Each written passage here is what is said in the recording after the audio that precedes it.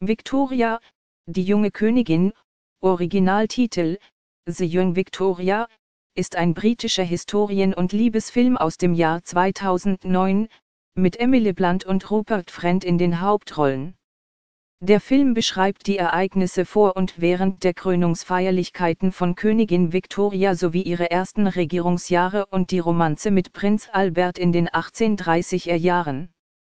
Er wurde von Martin Scorsese, Graham King, Sarah Ferguson und Tim Herdington produziert.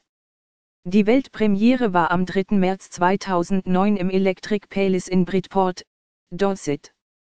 In den deutschen Kinos startete der Film am 22. April 2010.